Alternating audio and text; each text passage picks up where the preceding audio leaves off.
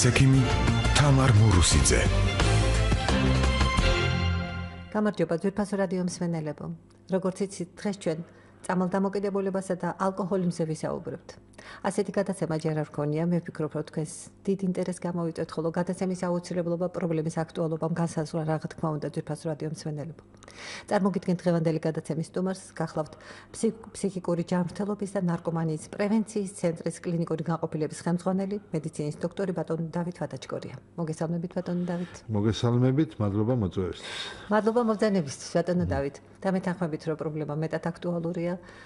და მინდა რომ ყველა ის საინტერესო საკითხი გამეხილოთ, რაც ჩვენს მოსახლეობას აწუხებს, ძვირფას რადიო მსმენელებო თუ რომელიმე საკითხი თქვენთვის უფრო მეტად მნიშვნელოვანია, თავად აგვირეკეთ და გაგვაგებინეთ, მე შეგახსენებთ, რომ თქვენ უსმენთ საზოგადოებრივ რადიო 1 ტალღაზე FM 102 და 4 240 91 92 240 92 92 ბატონ დავით, მოდით ორ ნაწილად გავყოთ ჩვენი გადაცემა, ჯერ ვისაუბროთ წამალდამოკიდებულებაზე, მაგრამ ალკოჰოლიზმზე, მე ეს ყველაფერი გავაერთიანოთ და შევადაროთ ერთმანეთთან. და ჩვენი დარწმუნებული ვარ მსმენელებიც იაქტიურებენ. მაშასე ბატონო დავით, რას ნიშნავს ზოგადად აი წამალდამოკიდებულება, ალკოჰოლისადმი დამოკიდებულება, რას გულისხმობთ, როცა ამბობთ რომ დამოკიდებულება არსებობს? აა დავიწყოთ წამალ დამოკიდება, დამოკიდებულება საერთოდ. დამოკიდებულება. რომელიც ძალიან აქტუალური პრობლემაა დღეს სოფლიოში. ეს არის თავის ტვინის ქრონიკული დაავადება. აჰა. რომელიც სახასიათებს თანვითი ჩამოყალიბების, განვითარების ეტაპები, გამოსავალი და ასე გართულებები და ასე და ასე შემდეგ. აა როგორც ყველა ქრონიკულ დაავადებას, დაავადებას მას აგარკული მიმდინარეობა. აა და შედეგობრივი თვალსაზრისით აა შედეგი ხშირად იგივე კურნალობის შედეგი განპირობებულია თვითონ აა პაციენტის თვითონ მომხმარებლის პიროვნული რაობით, მისი мотиваციით და ასე და ასე შემდეგ. საერთოდ როცა ლაპარაკობენ დამოკიდებულებაზე, აა საერთოდ რამოდენიმე სახის დამოკიდებულებას გამოყოფენ ხოლმე.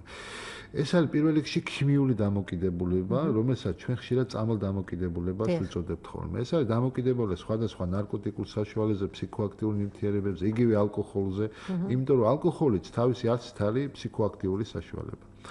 არის გამოყოფენ ასევე არაქიმიურ დამოკიდებულებას. ყველა ვიცით იგივე აზარტული თამაშები, ეგრეთ წოდებული გემბლინგი, ელექტრო დამოკიდებულება, კომპიუტერული თამაშები, ტელედამოკიდებულება, მრავალ სახეობაა, თქვათ, ამ არაქიმიური დამოკიდებულების დღეს ცნობილი, ხო?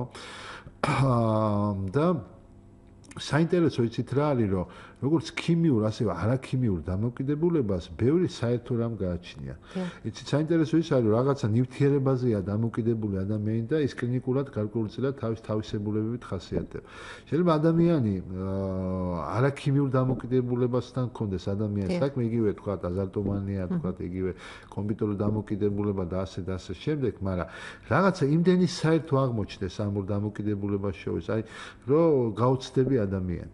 ანუ ეს იმის თქმა მინდა რომ გარკვეულწილად როცა ჩვენ დამოკიდებულებასთან გვაქვს საქმე არა აქვს მნიშვნელობა ქიმიურია თუ არა ქიმიურია ის თავის ტვინში ის პროცესები რომელიც მიმდინარეობს აი ჩვენ ამას გამოვყოფთ ხშირად დეტალიზაცია რომ მოახდინოთ აი ეგრეთ წოდებული თავის დამაჯილდოებელ სისტემას უწოდებთ რაც ჩვენ სიამოვნებას განაპირობებს იცით აი მე ზუსტად იმ ზონის აქტივაცია ხდება ორივე სახის და როგორც ქიმიური არა ქიმიური შემთხვევაში ამიტომ მიმდინარეობა თავისებურება ბევრ ამაში საერთო აქვს. თუმცა რასაკვირველია განსხვავებებიც არის. აა ალკოჰოლის რაც შეეხება, ნუ ამას როგორც გითხარით, ამას ასევე განიხილავენ როგორც წამალ დამოკიდებულების ერთ-ერთი ფორმა. ანუ ქიმიური დამოკიდებულების ფორმა. ქიმიური დამოკიდებულების ფორმა არის. აა და უნდა გითხრათ, რომ სიკვდილიანობის თვალსაზრისით დღეს ალკოჰოლიზმი ერთ-ერთ პირველ ადგილზე გავიდა. ანუ საქართველოს თუ ზოგადად ზოგადად სოფლიოში სიკვდილიანობის აი მეორე მესამე ადგილზეა უკვე ალკოჰოლიზმი და გამოწვეული სიკვდილიანობა იმდენად გაიზარდა ზიანი რომელსაც მოაქვს აი მავნეთ ამ ალკოჰოლის მოხმარებას ანუ შეხედულება მე შეიძლება ვწდები, მაგრამ რამდენადაც ვიცი, ცოტა უფრო მსუბუქია, მიმტევებლური არის საზოგადოების დამოკიდებულება, როცა ალკოჰოლიზმზეა საუბარი და უფრო მკაცრია, როცა არის წამალ დამოკიდებულებაზე საუბარი და აღმოჩნდა რომ გასაკვირველია, ხშირად ალკოჰოლიზმი უფრო პროგრესი, არ უფრო მწვავედ, ძიმეთ მიმდინარეობს და შედეგის თვალსაზრისით, აი პიროვნული დეგრადაციას რო უწოდებთ ჩვენ ის პროცესი გაცილებით უფრო მწვავედ და ძიმეთ და უფრო სწრაფ სწრაფად ჩამოყალიბდეს ვისე ვიდრე ზოგიერთი თქვა ნარკოტიკული საშუალების მოხმარების შემთხვევაში. ასე რომ აი ცოტა ესეთი ზერელე დამოკიდებულება ხშირად ხშირად აი ესეთი თქვა არაპირდაპირ რეკლამა რომელიც მიდის ზოგიერთ თქვა სხვადასხვა ფილმებში სერიალებში და ასე შემდეგ. ну ჩვენ გარკვეულწილად ისედაც ძიმე სურათს უკვე რომელიც არის საქართველოსში იგივე ალკოჰოლთან და კიდე უფრო ვამძიმებთ იმიტომ რომ სწორი ინფორმაციის მიწოდება რასაკვირველია რომელიცაც ევროპაში უდიდეს მნიშვნელობას ანიჭებენ და ეს თელი კონტინგენტი ფსიქოლოგები ჩართულიან სკოლის ასაკიდან რომ ბავშვს სწორი წარმოდგენა შეექმნას რასთანაც სამწუხაროდ ამ სკოლის პრევენციული ღონისძიებები სკოლაში ჩვენ ჯერჯერობით მაინც ვერ დაუნერგეთ. თუმცა როგორც გითხარით უდიდეს მნიშვნელობას ანიჭებს დღეს სოფლიო ეს ცივილიზებული სოფლიო რომ ა სკოლის ასაკიდან უკვე ბავშვს კონდეს გარკვეულწილად ის უნარჩვევები რომელიც მას დაიცავს გარკვეულწილად ამ ძიმე შედეგებისგან. ბატონო დავით ახლა თქვენ გარკვეულწილად სტატისტიკასაც შეეხეთ მაგრამ უფრო დაწრულებით თქვა ხომ არ ფლობთ ხომ არ არის სტატისტიკა საქართველოსში და სოფლიოში რამ მდგომარეობა როგორ არის აი ერთი და მეორე შემთხვევაში? ეხლა საერთოდ როგორ გითხრათ იცით? სოფლიოში აა ბოლო მონაცემებით დაახლოებით 120 მილიონი ადამიანია დამალ დამოკიდებული და ორივე ერთად როგორ დამოკიდებული აი ნარკოტიკულ საშუალებებს იცით? მაგრამ იქიდან დაახლოებით ანუ დამოკიდებული ასე ვიძახით იცით რომ ყოველდღიურად სისტემატიური ხასიათი რო აქვს ამის მოხმარებას აქედან დაახლოებით 80 მილიონი არის მარიხუანა დამოკიდებული უდიდესი წილი ამაში არის, მარიხუანა და სადაც 12-15 მილიონიანი ჰეროინი, კოკაინი და ასე და ასე შემდეგ. ანუ მარიხუანას დიდი ხვედრითი წელი უჭირავს, თქვათ ამ დამოკიდებულების თვალსაზრისით თელ სოფლიოში. რაც შეეხება საქართველოს, кайხანი ესეთი სანდოობის თვალსაზრისით აა რეალური სურათი არ გქონდა ჩვენ. იყო სხვადასხვა განცხადებები გახსოვთ თქვენ ამერიკის სახელმწიფო დეპარტამენტის 200.000-ია და 300.000-ია და კიდევ უფრო ძაბავდა ეს სიტუაცია და უფრო გზაფრავდა რასაკვირველია ჩვენ და აა ნუ ბოლო წლებში რაღაცა დონორების დახმარებით მოხდა გარკვეულწილად სანდო სტატისტიკური მონაცემების გამოყვანა და დღეს ითვლება რომ დაახლოებით 40000 ადამიანია საქართველოში პრობლემური ინტრავენური ნარკოტიკის მომხმარებელი. 40000 ადამიანია დღეს. რასაკვირველია ეს საკმაოდ შთამბეჭდავი ციფრია რასაკვირველია აქ არის გულისხმება აი მომხმარებლები რომელიც გარკვეულ გარკვეულ პერიოდულობით ხმარობენ ნარკოტიკებს. რეგულარულ მოხმარებაზე. ეს არის რეგულარული უკვე პრობლემური პრობლემურს უწოდებენ ამ ასეთ ასეთ კონტინგენტს, როცა აი გართულებები და თქვათ იგივე ლეტალური გამოსავალი და სიცოცხლის საში მოვლენები დიდი ალბათობით ვითარდება. რაც შეეხება ალკოჰოლიზმის საკითხს, უნდა გითხრათ, რომ მაინც ამ თვალსაზრისით სტატისტიკა ჯერ საქართველოს სანდო არ აქვს. თუმცა ყველა ხედავთ, რომ თქვა ძალიან სწრაფის და მიმდინარეობს, უფრო სწრაფი ვიდრე ნარკოტიკული საშუალებების მოხმარების თვალსაზრისით. აა და ცოტა აი საზოგადოებას გარკვეულწილად აი აა თქვა ის სიფთხილე, რომელიც უნდა კონდეს, თქვა ამ პრობლემასთან დაკავშირებით, აა გათვიცნობიერებული არ აქვს. ეს საფრთხე, რომელიც თქვა წამოვიდა ამ თქვა ალკოჰოლის მოხმარებიდან. და საინტერესო ამბავია, ჩვენ ღვინის წარმოებელი ქვეყანა ვართ და ხო, ღვინის წარმოებული ქვეყანა ვართ, ტრადიციაა ჩვენთან ყველაფერი, ყველაფერი. აა ეს საუკუნე ტრადიცია დაუშვათ ადრე და რა მდგომარეობასთან გვაქვს საქმე ახლა დღეს. ნუ ადრე გვახსოვს ეხლა ჩვენ წავკითხია, რომ თქვა ფეხ არეული რო გადიოდი სუფრიდან, როგორ სიცხვილი იყო და ეხლა ძიცით რა ბოლო ამ პოსტსაბჭოთა პერიოდში რასაკვირველია მკვეთრად შეიცვალა სურათი. რა მკვეთრად შეიცვალა სურათი ის ღვინის მოხმარების კულტურა თანდათან ქრება სამწუხაროდ. აა პოპულაციის მოსახლეობის დიდი ნაწილი უფრო გადავიდა უფრო მაგარ სასმელების მოხმარებაზე. მეორე საკითხია რა ხარისხის იყო თავიდან 90-იან წლებში და მე გარკვეულ პერიოდებში. თქვაც ეს სპირტიანი სასმელები როგორ ვიცით ეს იატაკქვეშა ლაბორატორიები იყო ასე და ასე შემდეგ და სულ შეიძლება სულ არ იყო ჭარბად მოხმარებელი მაგრამ საშინელი შედეგამდე ეს ყველას გვინახია ლეტალური გამოსავლები თქვა რამოდენიმე ჭიქის მოხმარება თერმოს უკმარისობა განვითარებული და 1000 რასაკვირველია. ეს თალკე თემაა, ვთქვათ, მაღალი ხარისხისაა ყველაფერი, მაგრამ მაგრამ და მოყვება რა. სპირტის შემცველობა მაღალია, რასაკვირველია, უფრო ადიქტიურია ეს სასმელი, რასაკვირველია. ანუ უფრო ადიქტიური რაც ნიშნავს, უფრო სწრაფად ყალიბდება დამოკიდებულება ამის მიმართ. და მეორე პრობლემა რასაკვირველია, იცით, აი სოციალური მომენტები რა. სოციალური მომენტები, რომელიც ძალიან უწყობს ხელს ამ ალკოჰოლიზმის განვითარებას ქვეყანაში რა. საერთოდ როცა პრობლემის განხილვაზე მიდის საქმე, აი მაგალითად ალკოჰოლთან დამოკიდებულებაში, იქ განიხილავენ, იცით, აი მაკროსოციალურ, მეზოსოციალურ, მიკროსოციალურ გარემოს. ჩვენთან რა შეიცვალა ამ საბჭოთა პერიოდში? ნუ კატასტროფული უმუშევრობა იცით თქვენა, ხო? როცა როცა ყველა ხედავთ რომ აი ბირჟები რო ეგრეთ წოდება ყველა ეზოს წინ ხო? კი ბატონო. რამდენი ხალხი იკრიბება, რა სვავენ, როგორ სვავენ, რა სიხშირით სვავენ, რამდენი უმუშევალია იმ ეზოებში. მე მაგ რამოდენიმე კორპუსი მაქვს თქვა იგივე საბურთალოზე თქვა ჩემი საკლის იგივე აფიქსირო სადაც აი ათეული ადამიანია უკვე ამ პრობლემით დაავადებული, იცით? იმიტომ რომ ტოტალური უმუშევრობა, ტოტალური საქმრობა თქვა თვითრეალიზაციის არარსებობა. ერთ-ერთი ფაქტორია იმისა, რომ თქვა ძალიან სწრაფად ყალიბდება ეს დამოკიდებულება რა. და სხვადასხვა საინტერესო მომენტია საერთოდ ზოგიერთი მკვლევარი გამოყოფს დიდართა ალკოჰოლის და ღალიბთა ალკოჰოლის. ეგეთი გამოყოფს. პირველად მესმის აბარა რა ხდება. დიდართა და ნუ ესე იგი შეძლებული ადამიანის თქვა ალკოჰოლის და ღალიბთა ალკოჰოლის. გასაკვირველი ღალიბთა ალკოჰოლის უფრო მძიმედ მიმდინარეობს, სოციალური დეკომპენსაციის ხაზით მიმდინარეობს. და უფრო დიდართა ალკოჰოლიზმი უფრო რასაკვირველია ნელი პროგრედიენტობით ვითარდება, თუმცა რასაკვირველია არ არის ის ფაქტი რომ ადამიანი მატერიალურად უზრუნველყოფილია იმის ვთქვათ, დამცავი მექანიზმი არ არის, რომ მას არ განვითარდება. თუ ალკოჰოლიზმია და უკვე ასე ამაზე საუბარი შედეგები ერთნაირი იქნება. გასაკვირველია, იმიტომ რომ ვთქვათ, აქ არის გარკვეული ფსიქიკური მომენტები, მენტალური პრობლემები, ვთქვათ, იგივე დეპრესიული მომენტები, თვითრეალიზაციის გარკვეული ან იმ საქმეს ემსახურება, რომელიც არ უნდა. და კიდევ თავარი, ასე იგი, ჩვენ საერთოდ რო განვიხილავთ ამ პრობლემის ჩამოყალიბების გარკვეულ, ვთქვათ, წინა პირობებს გამოყოფენ რამოდენიმე ფაქტორს, იცით? ეს არის ბიოლოგიური ფაქტორი, გენეტიკური ფაქტორი, ეს არის ფსიქიკური თავისებურება და სოციალური გარემო.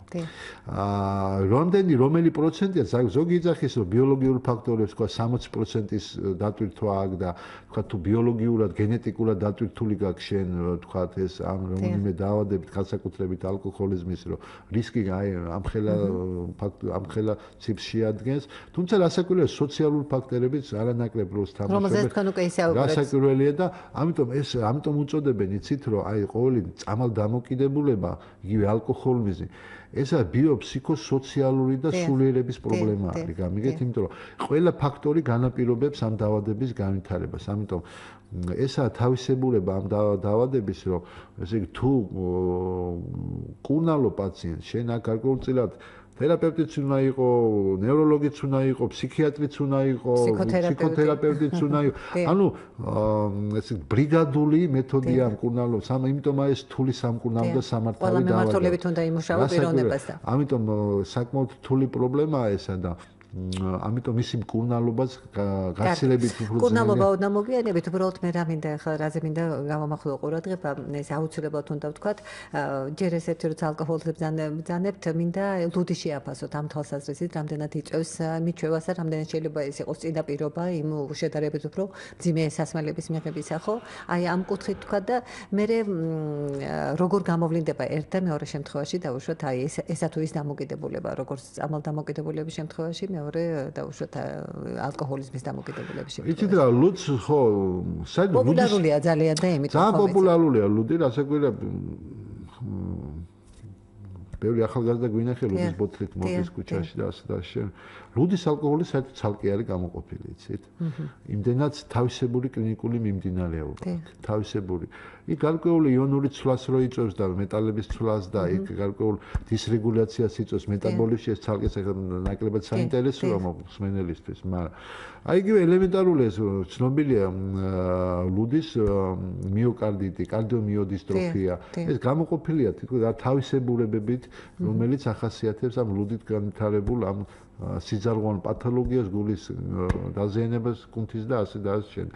ანუ ქვეყანა ყველაზე მეტად სხვადასხვა ლუდის მოხმარებალი ჩეხეთში. დიახ. სტატისტიკურად დადგენილი ყველაზე მეც ხმარობენ ჩეხეთში, იცით? და ჩეხეთი დღეს ალკოჰოლიზმის თვალსაჩინო პირველი ქვეყანაა მსოფლიოში. ერთ-ერთი პირველი ქვეყანა. ევროპაში პირველ ადგილზე რუსეთსაც გადაასწრო, იცით, ალკოჰოლიზმის პრობლემის სიმწვავე. არ მეგონა რუსეთს თვითონ გადაასწრებდა თათათერ მეგონა. ბოლო მონაცემებით გადაასწრო უკვე რუსეთს იმ თვალსაზრისით, რომ ლუდმაც რასაკვირველია, აი ახლა ზიანის მოტანა შეიძლება, იმიტომ რომ ლუდიც გარკვეულწილად ეს გამშვები მექანიზმია, რასაკვირველია განვითარების და უფრო დამძიმების ალკოჰოლიზმის. ანუ ძალიან ზედაპირულად სუბუქად ნურავინო შეხედავს ლუდის მოხმარებას. რასაკვირველია, რასაკვირველია. ბევრი ხა აქ შეხვიდეთ და ნახავთ გარკვეული დადებით თვისებებიც აქვს ლუდს. კი ბატონო, რა თქმა უნდა, მაგრამ ზომიერი მოხმარების შემთხვევაში, ხო? ზომიერება, ზომიერი მოხმარების შემთხვევაში ნატურალურ ორგანიზაციას და შემდეგ მეტალების თვალსაზრისით შეიძლება სასარგებლოც იყოს ცირე რაოდენობით ლუდის მიღება, მაგრამ იმ მასშტაბებით, რომელიც ჩვენ ყავს, ერთ-ერთი პაციენტი მყავდა, იცით, რომ დღეში სვავდა 20 ლიტრა ლუდს. წარმოგიდგენიათ 20 ლიტრას ლუდს გული როგორ ფორმაში კონდა 4 საათ განმავლობაში. ნუ საკმაოდ ხო და ეს დავანებოთ თავი მის ალკოჰოლის სითხის რაოდენობა 20 ליტრს გადამუშავება ხო წარმოგიდგენიათ 27-28 წლის ბიჭი რომელიც ამ რაოდენობის ლუდს სვავს ხო? და ეს პრობლემა ეს რასაკვირველია თავისი მიმდინარეობა აქვს ამას და თავისი გართულებები რომელიც ცნობილია ყველასთვის რა და აბსოლუტურად ჩვენ მოსახლეობაც უნდა იცოდეს გარკვეულწილად რასაკვირველია რომ თლათ ესეთი უნებელი სასმელი არ არის ლუდი. მე სულ ეხა გამახსენდა უბრალოდ ბატონო დავით მიკვირს ხოლმე საოცრად მიკვირს რომ ჩვენებენ ლუდის მის შეჯებს ხო? გინდა ჩვენთან საქართველოს გინდა საზღვარგარეთ და ერთჯერადად რაღაცა რაოდენობა იცით რა როგორც ექიმს ნამდვილად მიკვირს როგორ როგორ იწელება ის კუჭი ისე რომ უკან არ ამოდის იმ მომენტში აი მართლა საოცარი რამ არის ხო მართალია. იქ ხო ერთ ერთ ბაშად მიიღებაზეა საუბარი.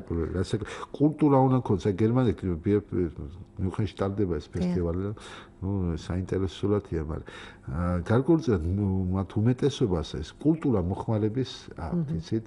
აქვს შეიძლება ეს 2-3 დღე ფესტივალია და რაღაცა მაგრამ ყველას ხარკოვული თავის კულტურა მოხმარების უმეტეს იგივე გერმანიაში ხო ძალიან ესე იგი სისხლში აქვს გამჭდარი და იციან როგორ რანაირად რა დოზირებით რა რაოდენობით და ასე და ასე შემდეგ.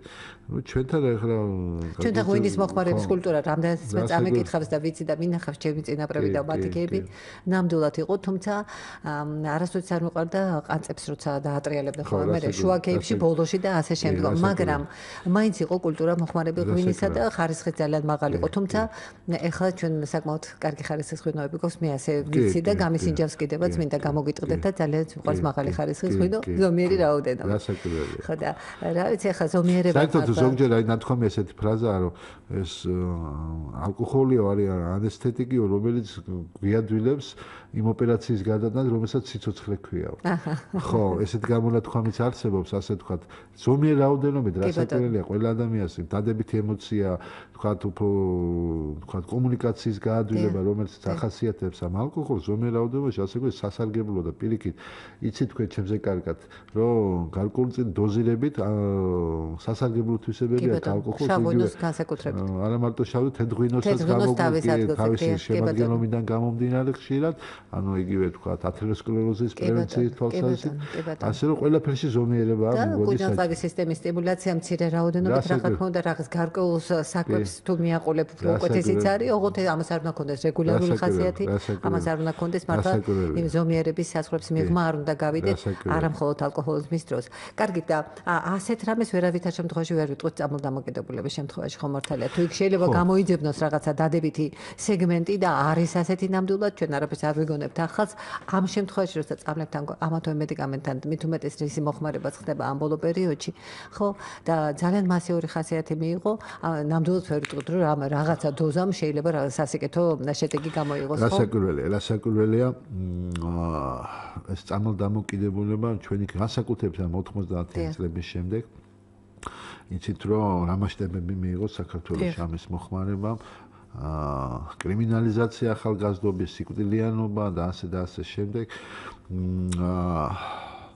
თუმცა უნდა გითხრათ რომ რაღაც 2005 6 წლიდან მკვეთრად შემცირდა საქართველოში აი ჩვენთვის იმ პერიოდისთვის ტრადიციული ბწალებში ნარკოტიკების მოხმა. ეს ჰეროინია, ბუპრენორფინი, იგივე სუბუტექსი და ასე და ასე შემდეგ, ოპიუმი და ასე შემდეგ. აა თუმცა მოხდა მეორე დიდი უბედურება, იცით? აი ზუსტად ამ წლებიდან დაიწყო საქართველოს ეგრეთ წოდებული კუსტარული მომზადების ნარკოტიკული საშუალებების მოხმარება, რომელიც თავისი დამანგრეველი ეფექტით გაცილებით უფრო მძიმეა ვიდრე თქვათ იგივე თქვათ ის ჩვენი ჭყალებში ტრადიციული ნარკოტიკები, ხო? იმიტომ რომ შედეგების თვალსაზრისით აი როგორ გითხრათ აი ზოგჯერ გული მიკვდება რომ არის ერთ-ერთი სახეობა კუსტარული ნახე არ მინდა ჩამოვთვალო რომელიც რამოდენიმე თვეში იწევს ახალგაზრდას ინვალიდიზაციას, პირველი ჯგუფის ინვალიდი ხდება, იცით და ასობითად თან რამოდენიმე თვეში თქვენ ბძანეთ, რამოდენიმე თვეში, ხარ მინდა ჩამოთვალო, აი ესეთი ძიმე შედეგების გამომწვევია. არსა დამასშტაბებით რაც ჩვენთან მოხდათ, მე არ მსვენი ახლა ბევრგან ავალ ნაყოფი და ბევრ შეგვაქვს ასეთი მასშტაბებით რაც ჩვენ ამ კუსტარული, ან ჩვენ ამას მე აფთიაქ საფთიაქო ნარკომანიასაც უწოდებ. ეს მასშტაბები მე არსა დან შემხედრია, იცით? და ეს მასშტაბები აი თავისი დამანგრეველი შედეგებით, ხო? ჯერ კიდე შეფასებული არ არის. ჯერ კიდე შეფასებული არ არის. ეს გრძელება სამწუხაროდ წლების განმავლობაში საქართველოში და ბოლოს ერთი ბოლო ერთ-ერთი რადიკალური ნაბიჯი იყო, როცა თქვა შეიზღუდა რეცეპტურული სისტემა შემოვიდა, ცოტა ადრე გარკვეულ მედიკამენტებზე შემოვიდა უფრო ადრე ფსიქოაქტიურ ნივთიერებებზე, რომელიც არ იყო თქვა აგრეთვიანობით, აგრეთვიან იმაში არ საჭიროებდა აგრეთვიანობით და კაცრი წესით გაცემას, გარკვეულ რეგულაციები შემოვიდა და რასაკვირველია, თქვა მასშტაბები ეს გარკვეულწილად შემცირდა თუმცა რასაკვირველია გრძელდება ეს პრობლემა. გრძელდება ეს. ეხლა ბატონო დავით ახლა მსმენელია, კარგი ხანს გველოდება, მოვისმინოთ მას რა ინტერესებს გისმენთ. გამარჯობა. გამარჯობა ბატონო. აა ნარკოტიკულ საშუალებებთან შესახებ ვინდა? ძანეთ. ეს მარუხ მარიხუანა რატო არის უფრო ფართო მასშტაბით გამ ფართო მასშტაბით რატო იყენებენ? უფრო ხელმისაწვდომია თუ უფრო რაღაც სხვა მიზეზია და ჩემი აზრით ამასინათ იყო გადაცემა თითქოს ნარკოტიკული შაშუალება რაღაც ახალი დაავადება იყო იმას შველისო და კონკრეტულად აღარ მახსოვს რა დაავადება იყო და რა ნარკოტიკული საშუალება შველოდა ასე იგი ვინც მოიხმარდა იმ ნარკოტიკულ საშუალებას იმას არ ხვდებოდა ის ავადმყოფი. აჰა. კარგი. გაგეგიათ ეგეთი. კი ბატონო, არ ვიცი მე მე არაფერი მაგის გასი გამიგია, არ ვიცი ბატონო დავით თუ გაქვთ თქვენი ინფორმაცია, ნარკოტიკი რომ რომელიმე დაავადების პრევენცია თუ არის გამithარების ეს ეთყობა რაღაცისა. კარგით. მარიხუანა შევეხებით კიდევ ერთი მსმენელია, მასაც მოусმინოთ. გისმენთ?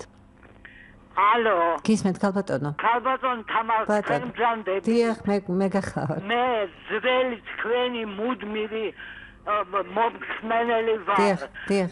და იცით ეგ თემა ვიცი რომ სხვა თემა, მაგრამ ეხლა თუ დღეში ვარ და მინდა თქვენი დახმარება. დიახ. როცა იყო თქვენთან გადაცემა კისტა პირის რუში მე ვერ ჩავწერე ექიმის გვარი და მისამართი მე ვარ უსინათლო და 90 წლის. დიახ. ქალბატონო, მოდით შევთანხმდეთ. ერთი წამით მომისმინეთ ქალბატონო. მე დაგელოდები თქვენ გადაცემა რომ დამთავრდება, დამირეკეთ ტელეფონზე და უფრო დაწვრილებით მითხარით რა გაწუხებთ. კარგით, ეხა ეხა ეთერს ნუ ნუ დავიკავებთ, კარგით?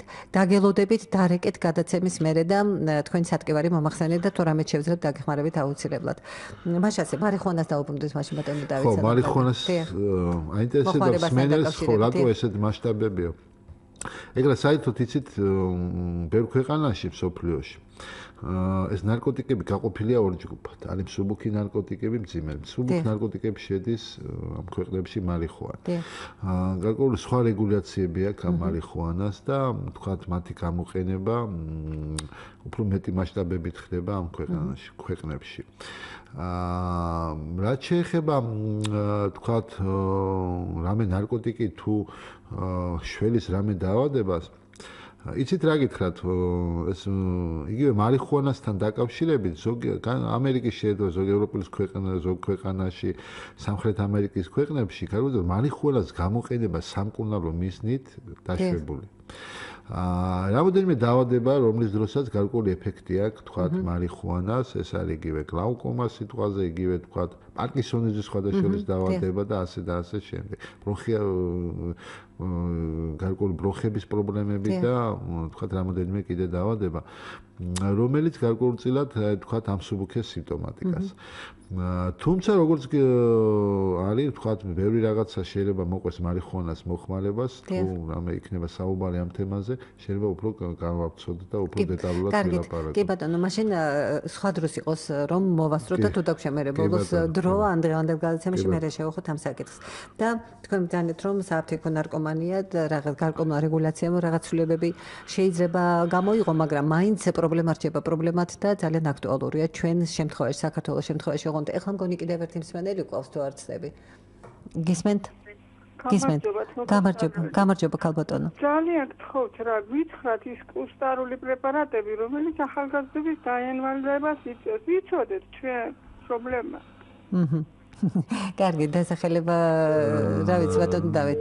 რა ვიცი აბა დასახელება პოპულარული არის რამოდენიმე მათგანი ხო იგივე თქვა იგივე თქვა კუსტავრად დამზადებული სტიმულატორებია ეგრეთ წოდებული JPV ინტიეფედრონის ფსევდოეფედრინის წარმოება. იგივე არის თქვა იგივე ეგრეთ წოდებული დეზომორფინიანს რო უწოდებთ ჩვენა ხო არის თქვა ეგრევე იყო ჩვენთან ეგრეთ წოდებული ტიანეპტური ნარკომანია ეგ კოაქსის რო უწოდებდეთ რომელიც დამანგრეველი იყო და აა არის ესეთი ნოზოლოგიები რომელიც თქვა ჩვენ საქართველოს გადაიერათ თქვა და თქვა უმძიმეს შედეგი დატოვა თუმცა ეს გარკვეულწილად ეს პრობლემები რჩება დღესაც საქართველოში, იმიტომ რომ მაინც ბოლომდე ვერ აღმოიფხვრა ეს პრობლემა. იმდენად დიდ ფინანსურ მოგებას უტოვებს იმას, ვინც ამ საქმით არის დაკავებული. საშინელებაა ეს თავისთავად სამწუხაროდ სავალალოდ, მაგრამ მე ვფიქრობ, რომ ჩამონათვალს, ჩამოთვლას აი ამ საშუალებებისას ჯობს ჩვენს რადიო მსმენელებს უფრო დაწურებით ბატონო დავით უთხრათ იმის შესახებ, თუ როგორ შევატყოთ ადამიანი. მო ახალგაზრდა არის და დამოკიდებული ის იქნება დავუშვათ წამალ დამოკიდებულებაზე, ცალკე თუ არსებობს ასეთი განმა მოსხვეველი და იგივე ალკოჰოლიზმი, იმიტომ რომ თქვენ ძანეთ რომ ყოველას და ყოველფერს გადაუსწრო თანსოფლიოში. რა საკულელია ხა რა გითხრათ, აბა რა შეიძლება თქვათ შობერს ხო?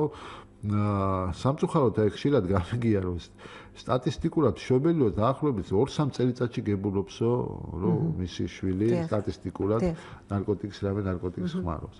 ამიტომ გარკვეულწილად, იმიტომ რომ ყოველას მაინც ის იმედი აქვს, რომ თქვათ ეს პრობლემა მას არ შეეხება და მის ოჯახს არ შეეხება, თუმცა იმდანაც გლობალურია ეს პრობლემა, რომ სამწუხაროდ ბევრ ოჯახში შედის. ნუ რა არის ეს პირველი ნიშნები, თქვათ, ბავშვის თქვათ გარკვეულწილად აა შეცვლა გარკვეული დროის განმავლობაში. ბაც ბავში აცდენ სკოლას, ბავშის თქვა წარმატებების თქვა სწავლის თვალსაზრისით კეთად კლებულობს.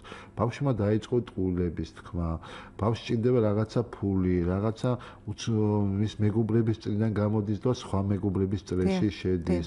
აა გარკვეულწილად შეცვლილი ერთსახე, სასხლიანებული თვალები, თქვა ძილობები, აა აი როგორც გითხარი პათოლოგიური ტყულისადმი მიდრეკილება ძალიან დამახასიათებელია ამ დროს თქვა. სხვა სხვა მიზეზების მოძებნა რომ თქვა გარკვეულწილად თანხა მოიპოვოს. ანუ თუ ყურადღებიანია მშობელი თქვა ხო რაღაც ეჭვი ნამდვილად გაუჩნდება და და ნუ გვაქვს ჩვენ ესეთი სტიგმატიზირებული მიდგომა რომ თქვა ეს პრობლემა თუ რაღაცა ყოველას დაუმალოთ ყოველას არავის არ უთხრათ არც ფსიქოლოგთან მივიყვანოთ არც ექიმთან მივიყვანოთ. სამწუხაროდ რაც უფრო გვიან იქნება თქვა დადგენილი ამ დაავადების არსებობა კურნალობის თვალსაზრისით თქვა მით უფრო ცუდ შედეგს მივიღებთ რა. მით უფრო წარუმატებელი იქნება კურნალობა რაც უფრო გვიან მივიღებთ შედეგს სამწუხაროდ. აქედან გამომდინარე გარკვეული სიფრთხილე რასაკვირველია გარკვეული ყურადღება ყველა შობლის მოეთხოვება რომ ეს პრობლემა თქვათ თუ წამო გაუჩნდა მის შვილს რომ გარკვეულწილად დროზე იქნეს თქვათ ყურადღება მიქცეული და აღმოფხრილი. დიახ, მაგრამ კურნალობაზე ჩვენ მოგვიანებით უბრალოდ მინდა ვთქვა რომ თუ მარტო მშობლის ინიციატივა კურნალობაში ფერსერაფერ შედეგს ვერ გამოიღოს, თუმცა ესეც აუცილებელია. თვითონ პიროვნება პიროვნება უნდა იყოს დაინტერესებული რომ დასწროს. მაგაში ეს ამ პრობლემის ამ დაავადების სიმძიმე იცით რომ რაც არ უნდა შობელი, რაც არ უნდა ახლობელი, რაც არ უნდა ექიმი მოწადინებული იყოს და mm-hmm. ყველაფერი. სამწუხაროდ ეს არ არის აპენდიციტი ამოაჭრა და აპენდიციტის გარეშე გაუშვა პაციენტი, ხო? თელს ხო დაჩენილი ცხოვრება ხარ აპენდიციტის გარეშე. ხო. ამის უბედურება ისაა რომ თვითონ პაციენტის პიროვნების მოტივაციის გარეშე mm-hmm. შედეგის მიღწევა ძალიან ძნელია. აა იცით რა, იმდენად ძიმე სფეროა ეს მკურნალობის თვალსაზრისით, რომ იმდენად შეიძლება ექიმმა, ფსიქოლოგმა თელი გული სული ჩადოს პაციენტში, გამიგეთ, მაგრამ ის შედეგი, რომელიც მას უნდა ვერ მიიღოს, თუ პაციენტი მოტივირებული არ იქნება. გამიგეთ, მოტივირებული არ იქნება. მაგრამ ერთ-ერთი კაი ექიმის, კაი ფსიქოლოგის ერთ-ერთი თქვა დამახასიათი ისიც არის, რომ იმ პიროვნებაში, რომელსაც არ უნდა თავიდან შეიძლება მკურნალო, გაუღვიოს და ჩაუნერგოს ეს სურვილი და გარკვეულწილად თქვათ ისეთ თქვათ სიტუაციაში ჩააგდოს, რომ თავისნებით გაყვეს უკვე პიროვნება პაციენტი ამ კურნელობის პროცესს. აა და აქედან გამომდინარე ძალიან დიდი მნიშვნელობა აქვს რასაკვირველია აი სწორ და დროულ ჩარევა სამედიცინო ჩარევა სამშობლოში. იმიტომაც გადავწყვეტეთ რომ ეს გადაცემა დღეს გასულიყო ეთერში. ბატონო დავით და მომავალში კიდევ იმედის იმეც ვიტოვებ რომ სხვადასხვა აქტუალურ თემებზე თქვენ მობძანდებით და ვისაუბრებთ. აქ არის სამი კომპონენტი, ალბათ მინიმუმ სამი, ესე გახლავთ პიროვნება პირველ რიგში ყოველ ადგილზე დგას. მისი გადაწყვეტილება რომ დაუშვათ იმ კურნალოს და შეცვალოს თავის ცხოვრების წესი. პროფესიონალი ეს მეორე ძალიან მნიშვნელოვანი და გარემო. ამ გარემოში იგულისხმება მშობლები ოჯახი სამეგობრო წრე და ასე შემდგომ. თუ ეს ყველაფერი ერთად არ იქნა შედეგი ვერ იქნება. ან და იქნება მოკლევადიანი ხო მართალია. რაღაცა მომენტში და მე ესა რასაკვირველია რასაკვირველია ესე იგი აქ როგორც თქვი მე ერთხელ ესა ბიოფსიქოსოციალური პრობლემა. ანუ ყველა მიმართულებით უნდა ეს კურნალობის პროცესი არის ეს მულტიდისციპლინარული მიდგომის თქვა განხორციელების პროცესი, იმიტომ რომ აქ ბრიგადული მეთოდით ხდება საერთოდ მუშაობა, ეს არის ექიმი, ეს არის ფსიქოლოგი, ეს არის ფსიქოთერაპევტი, ეს არის სოცმუშაკი და ასე და ასე შემდეგ, იცით რომ და სამწუხაროდ საკმაოდ აა ხანგრძლივი უნდა იყოს პურნალობა სამედიცინო ჩარევა იმიტომ რომ დადგენილია რომ რაც უფრო ხანგრძლივი მკურნალობა მიმდინარეობს მით უფრო უკეთესი შედეგია. გამიგეთ?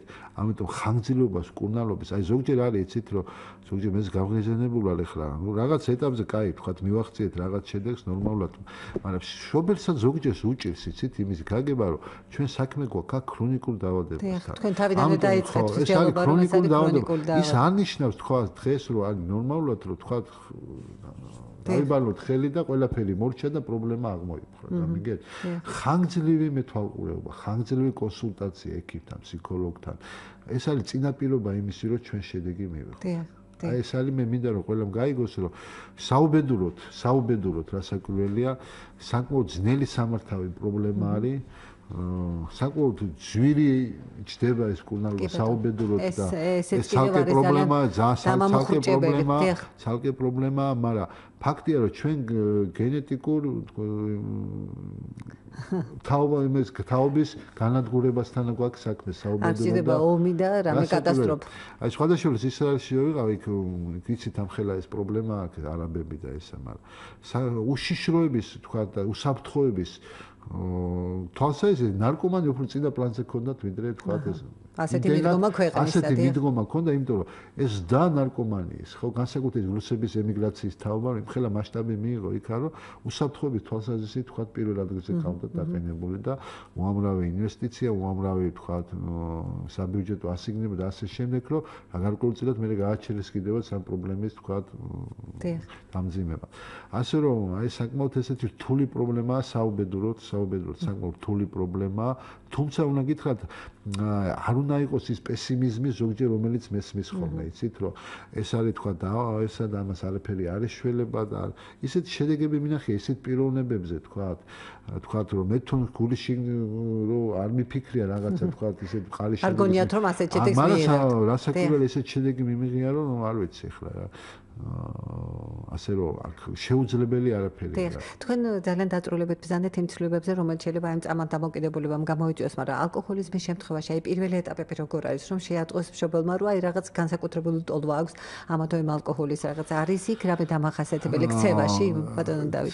ქცევაში რა არის, იცით რომ როცა ბავშვი ეძებს რამე მიზეს რომ ალკოჰოლი მიიღოს. აჰა ეძებს ეძებს იგივე ოჯახში, იგივე თავის ნაცსავებში, გარკვეულწილად რო ატყობს შობელი, რომ რადიკალურად იცვლება პიროვნება, იცით? როცა არის ფხიზეთ მდგომარეობაში, როცა არის ალკოჰოლ ზემოქმედების ქვეშ. იცი, ასეთი კეთრი ხასიათობრივი ცვლილება ეს იმის მანიშნებელია, რომ გარკვეულწილად ალკოჰოლის მეშვეობით ხდება გარკვეული მისი ფსიქიკური სფერის სფეროს ისეთ შეცვლა, რომელიც მიღწევაც გარკვეულწილად ფხიზელ მდგომარეობაში მისთვის შეუძლებელი. ანუ რისი თქმა მინდა, რომ როდესაც ეს ალკოჰოლი მისი ფსიქიკური კომფორტის ფსიქიკურ კომფორტზე გქონდა აუცილებელი ატრიბუტიც ნიშნები უკვე შეიმჩნევა, ну აქ რისკი იმისაა, რომ ჩამოყალიბდეს ეს დაავადება ძალიან დიდია. ამიტომ ასეთ შემთხვევაში რასაკვირველია, დროულ ჩარევას უდიდესი მნიშვნელობა აქვს. უდიდესი, იმიტომ რომ უნდა გამომუშავდეს, უნდა შემუშავდეს ფსიქოლოგთან ერთად პირველ რიგში ისეთი უნარჩვევები, რომელიც ადამიანს კომფორტულად აგზავნებს თავს ფხიზელ მდგომარეობაში. ეს უდიდეს მნიშვნელობა აქვს. ხო. და კიდევ ერთი მსმენელი ყოს მოусმინოთ მას. გისმენთ. გამარჯობა. გამარჯობა ქალბატონ. კითხვა მაქვს ძანეთ. პირველი ეს არის ალბათ მას ნარკომანიას უნდა ვებრძოლოთ პოლიციის ჩართვით და რას უგულისხმობ? როდესაც ბავშვი შედის ნარკომანთა წრეში, მე სრულიც რო გაუჩნდეს, გამოვიდეს იქედან, არა აი კინოშიც ხო გინახიათ, აღარ უნდა ბიჭს დაცინვით და ცდილობენ ყველანაირად დააბრუნონ იმ წრეში. ანუ მარტო ბავშვზე არ არის დამოკიდებული და ამის ყურადღება ალბათ სამართალდამცავებმა უნდა გააკეთონ მშობლებთან ერთად. აი კუკარაჩებს რო ვიყვით ეს არის მეორე ჩვენთან ძალიან ხშირად ამბობენ რომ აი დეკრიმინალიზაცია ესა ისა და დაჟა არ მოაქვს. რამდენადაც ვიცი ჩვენი მთავრობა ძალიან გულმოდგინედ ცდილობდა ორი ქალბატონის გადარჩენას, რომელსაც მალაიზიაში აღმოუჩინეს ნარკოტიკები და იქ სიკვდილი დასჯა. თუ გაქვთ მონაცემები მალაიზიაში ასეთ გამკაცრებულ პირობებში, ნარკომანიის ხარისხი სხვა ქვეყნებთან შედარებით. არის მცირე და გამოაქვს ამაკ შედეგი თუ? არა და მესამე, არ ვიცი ახლა თქვენ თქვით თუ არა, მე ცოტა გვიან ჩავერთე, გარდა ალკოჰოლიზმის და ნარკოტიკებისა, ჩემს საკუთარ თავსაც ვატყობ, საერთოდ წნევს ვატარებ და თუ წნევის ამას არ ახსოვ, ანუ მიეჩვია ორგანიზმი იმ ფონზე დარეგულირებას წნევისას, როცა წამალი მაქვს მიღებული. და წნევის წამალი ქვემოთ წევს, ორგანიზმი რაღაცას ცდილობს და წნევა ნორმაში ახავს. ხო და თუ არ სვავ ამ წამალს, არა ძალიან მაღლა მიდის. და გარკვეულწილად წამალზე ვარ დამოკიდებული როგორც ნარკოტიკზე. ხო და აი ამას როგორ ვუშურო და მადლობა დიდი. კარგით. ნარკომანია პოლიცია დაშის მექანიზმი რამდენად ამართლებს ბატონო დავით და როგორია თქვენი დამოკიდებულება ამ პრობლემასთან მიმართებაში არის ესეთი ორი მიდგომა იცით? რა უნდა მოხდეს რომ თქვა ეს პრობლემის სიმწოვე შემცირდეს ეს არის მოთხოვნის შემცირება და მოწოდების შემცირება მოწოდების ნარკოტიკის შემცირებას პასუხისგებელია სამართალდამცავი ორგანოები. დიახ. სამართალდამცავი, იმიტომ რომ ისინი უნდა აკონტროლებდნენ, რომ ნარკოტიკი შავ ბაზარზე არ შემოგვიდეს. მოთხოვნის შემცირების თვალსაზრისით, რასაკვირველია, პასუხისგებელია განათლების სისტემა, სამედიცინო სისტემა. განათლება უნდა კონდეს ადამიანს თქვათ და გარკვეული პრევენციული ღონისძიებები უნდა იყოს დროზე ჩატარებული და ასე და ასე შემდეგ, რომ მოთხოვნა იმის რომ შეძინოს ნარკოტიკი არ ქონ. თუ მომხმარებელია უკვე ჯანმრთელობის სისტემა, დაცვის სისტემა ერთვება იმ თვალსაზრისით, რომ უკურნალოს მას და თქვათ ეს მოთხოვნა აღარ გაუჩნდეს. აგე ანუ ამ პრობლემასთან დაკავშირებით ესეთი ორმხრივი მიდგომა, იცით? უბრალოდ არის როგორ იცი ქვეყნების თვალსაზრისით თავისი რომელი მხარესაა აქცენტი გაკეთებული? სამართალ დამცავ თამხარეს თუ თუ თქვა სამედიცინო კუთხით. აი მალაიზიაო იკითხა კალბოტონმა. აი მაგალითად ჰოლანდიაში ევროპის ბევრი და ჩილეთან 80% მიდის განათლებაზე და თქვა სამედიცინო ჩარევებზე და 20% მიდის თქვა სამართალ დამცავთა მუშაობაზე. ჩვენთან საუბედუროთ ცოტა სხვანაირი სურათია ძირითადად მე ვფიქრობ ჩვენთან უფრო გაამართლებს დაბალანსებული სისტემა დაბალანსებული. ხოლო იცით როგორ არის ბატონო დავით ჰოლანდიელები და ქართველები ძალიან გასხოდებიან ერთმანეთთან თავის ქცევითა და ასე თქვა მაგრამ ქართული ველოსიპედი ყოველთვის ესე იგი თქვა სწორი ტერმინი არ არის ბევრ შემთხვევაში რა თქმა უნდა დიახ უნდა გავითვალისწინოთ უკვე უკვე შექმნილი ველოსიპედები და ჩვენი ეროვნული თავისებურებები მოვარგოთ ამ საქმეს. რა შეიძლება მალაზიას ხო იქ მართლა ძორი ქალბატონი დააკავეს მაგრამ ეს მე მეტამფეტამინის გადატანაზე დააკავეს. იქ მალე ციკლის დაჟაა და რამოდენიმე 500 თუ 600 ადამიანს სიკვდილის ჯერ იმ ქვეყანაში თუ სტატისტიკას სწორად გაქრა ეს პრობლემა? არ მგონია არ გაქრა. ირანში სიკვდილი დაჟე არის. წელიწადში 1000 კაცზე მეტ სიკვდილის ჯერ ირანში. მაგრამ ირანმა ნარკომანიის თვალსაზრისით ნუ ყოველგვარი რეკორდი მოხსნა. ყოველგვარი რეკორდი მოხსნა. ანუ ცალ ნუ მე ეს არის კორუფციის გზა და ასე და ასე შემდეგ ეს ყველაფერი ასე მარტო რეპრესიული ზომი ვის თქვა მინდა სწორედ მარტო რეპრესიული ზონა. გარკვეული ხნით რეპრესიული მეთოდით რასაკვირველია შემცირდება პრობლემა. გარკვეული ხნით, მაგრამ აი ეს თქვა შეკუმშული ზამბალის პრინციპი ხშირად მოქმედებს ხოლმე აქა და მე ორმაგად თქვა გამოვლინდება ხო. ანუ არავითარ ბალანსირებული მიდგომა უნდა იყოს ამ საკითხში. აუცილებლად. არც ერთი კომპონენტის გამოვარდა არ შეიძლება. კი ბატონო, არავინ გაიგოს ახლა ჩვენი საუბრიდან და ჩვენ საუბრობთ და უშუალოდ და ვიხრებით აბსოლუტურად ესეთი ლოიალურ მიდგომამდე არც ეს არ ამართლებს, მაგრამ ესეთი ძალიან მკაცრი და მართლა მხოლოდ სიკვდილის დაჟანზე საუბარიც როგორც აღმოჩნდა არ ამართლებს ხო? ეს გამოცდილება არ ხება ეს გამოცდილება ევროპაში გროვდებოდა წლების დაწესებულების გამო ახალი არ არის. არის რამოდენიმე მოდელი შვედური მოდელი ჰოლანდიური და შვალედური მოდელები და ასე და ასე შემდეგ თუმცა უნდა გითხრათ რომ დღეს ევროპაში სოფლიოში უფრო უფრო ეს ტენდენცია უფრო წარმოჩინებულია რომ დეკრიმინალიზაციის მომენტი თითქმის ყველა ცივილურ ქვეყანაში მიღებულია. რა არის დეკრიმინალიზაცია? დაიჭირე თქვა გამსაღებელი, დაიჭირე თქვა ვიც შემოვისაც შემოაქვე, მაგრამ თქვა მოხმარების გამო მაინც და მაინც 5 და 10 წელი არ ჩასვა ეს ციხე. გამიგეთ, იმიტომ რომ საუბედუროდ ციხიდან გამოსული ჯერ ხო ძვირი უჯდება სახელმწიფოს და გამოდიან.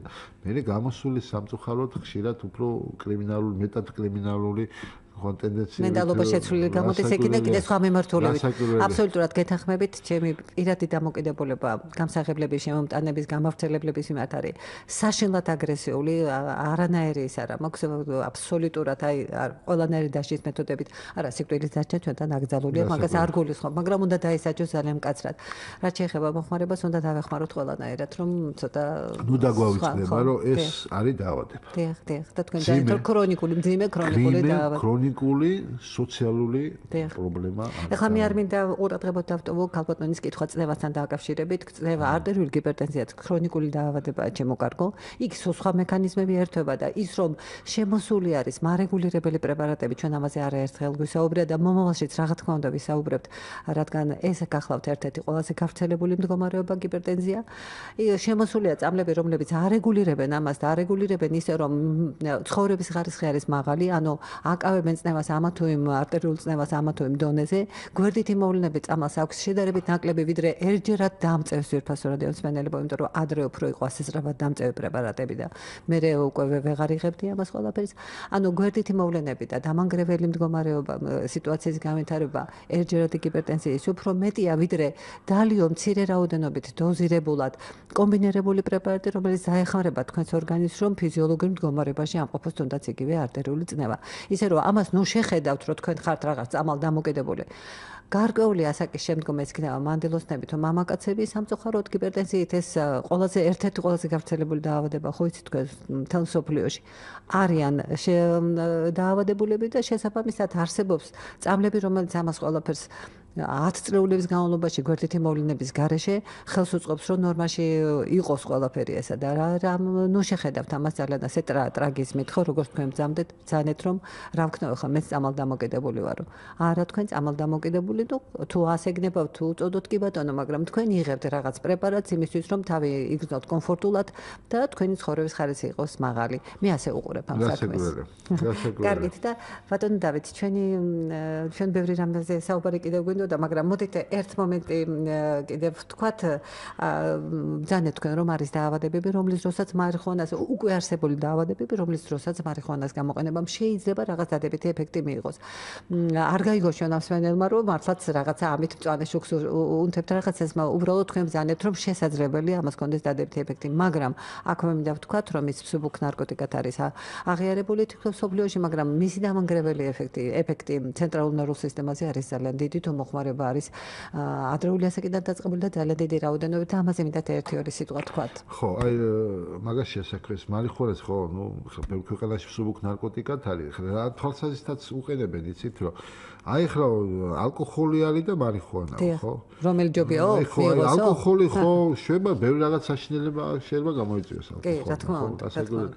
ხო და იმაზე ნაკლები არისო, თქვა მარიხუანას რომ მოიხმარს. თუმცა უნდა გითხრათ, რომ თელი რიგი ისეთი გართულებები აქვს მის ინტენსიურ მოხმარებას. რომ ესე იგი თქვა აი დეგრადაციის თვალსაზრისით, მენტალური დეგრადაციის თვალსაზრისით, ინტელექტუალური დეგრადაციის მექანიზმი მარიხუნა ერთ-ერთ პირველ ადგილს. იმდენად მენტალურ სფეროს გამოფიტვას იწვევს მისი ინტენსიური მოხმარება. თუმცა არის შემთხვევები და ეს ცალკე არის გამოყოფილი ესა, ხო?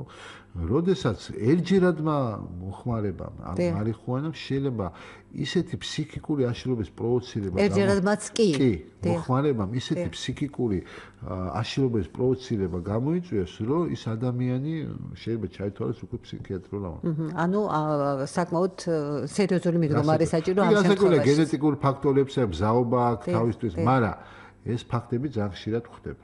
კარგი, ბატონო დავით, ძალიან საინტერესო იყო თქვენი მოსმენა, რა თქმა უნდა, მე ასე ვფიქრობ ჩვენი რადიო მსმენელებისთვისაც, ჩემთვის პირადად. მე შევახსენებ ჩვენს რადიო მსმენელებს, რომ ფსიქიკური ჯანმრთელობის და ნარკომანიის პრევენციის ცენტრის კლინიკური განყოფილების ხელმძღვანელი მედიცინის დოქტორი დავით ვატაჭკორია იყო გადაცემის დომარი. დღეს ამით დავასრულოთ და მომავალ შეხვედრამდე გემშვიდობებით. თქვენ კი დიდი მადლობა მოგზაურობისთვის. დიდი მადლობა მოწვევისთვის.